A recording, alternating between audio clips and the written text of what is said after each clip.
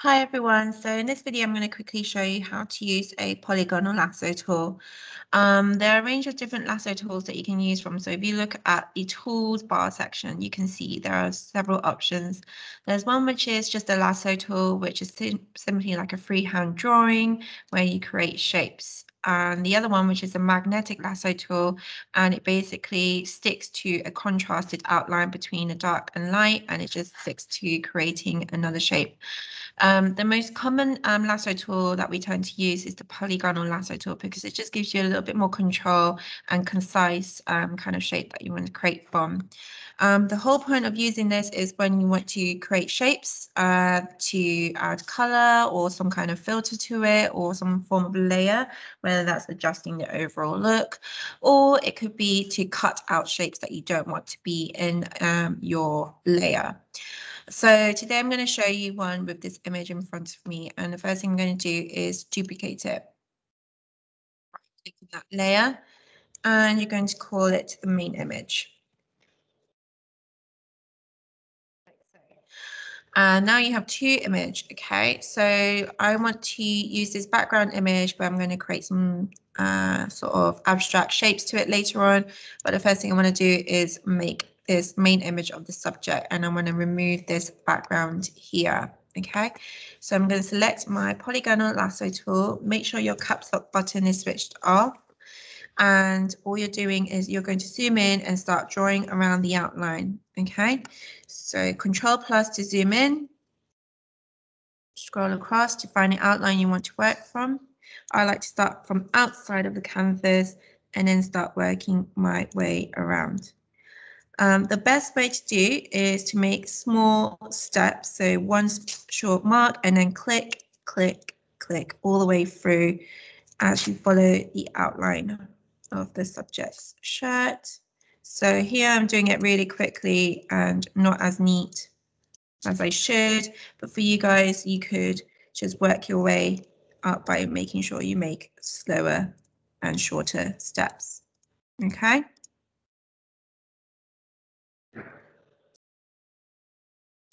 And just be very careful to not double click yet if you don't want to close that shape. So try to keep the clicks quite separated out. And then don't worry, as you reach the top, you can just move up and it will just move along with you.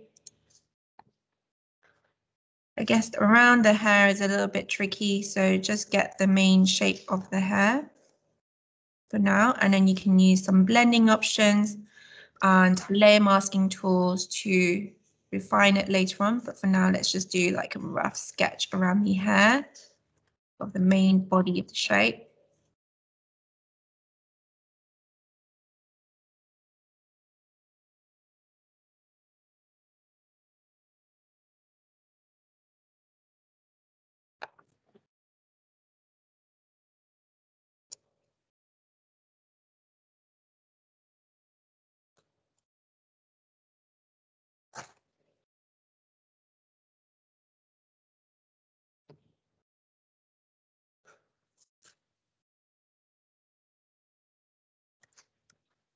And then go around like this, keep following the outlines, keep it controlled and accurate.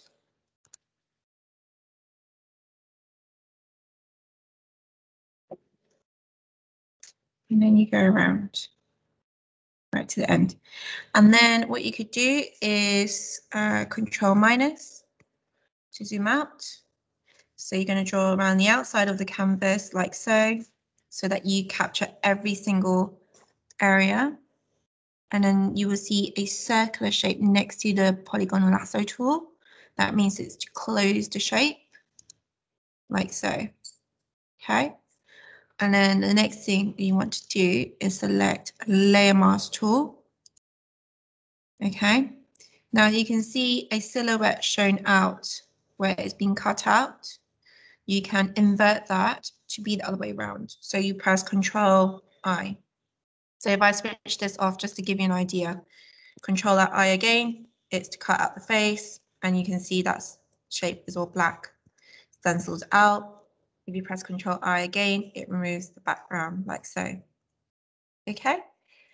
And the next thing you want to do is I want this image to, you can use black and white filter instead, whichever filter you want to use based on the ex filter experiments that you've used. So for example, if I choose black and white, um, you can adjust the overall contrast using the toggle. Okay, then you need to right click on it and create a clipping mask so that paper clips to this layer where it doesn't affect the image below it, as you can see. So that's really important that you use a clipping mask when you apply one of these filters that you've used from previous lesson. So the next thing I want to do is add some shapes to the background. So you're going to select the bottom layer and then press a new layer, which looks like a post-it note. And you're just going to create a new layer and you're going to call this background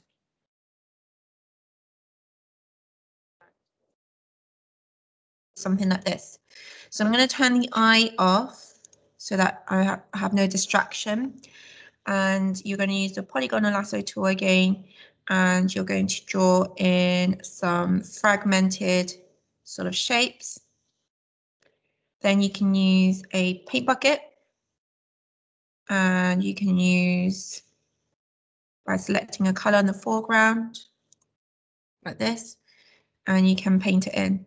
Now it doesn't fully cover it, so that means the opacity is not fully 100%. So always look at your top options here in terms of what's been selected and you can add it in again. So you've got one abstract shape there, okay? Um, and then if you want this shape to be the outline to stop moving around, just press Control D.